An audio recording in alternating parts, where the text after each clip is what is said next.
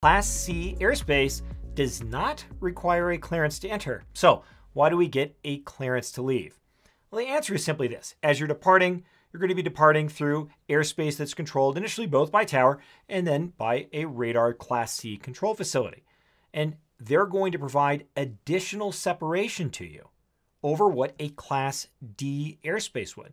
So they need to know where you're going to go and what altitude you're going to fly at. And that's why when you depart a Class C airspace, you need to pick up a VFR clearance. Now, typically we'll do this over the clearance delivery frequency, but you can also ask for it on ground. Springs clearance, Cirrus 216 Bravo Delta, looking for VFR clearance to depart to the north. Will be 10,500, going to Rocky Mountain Metro.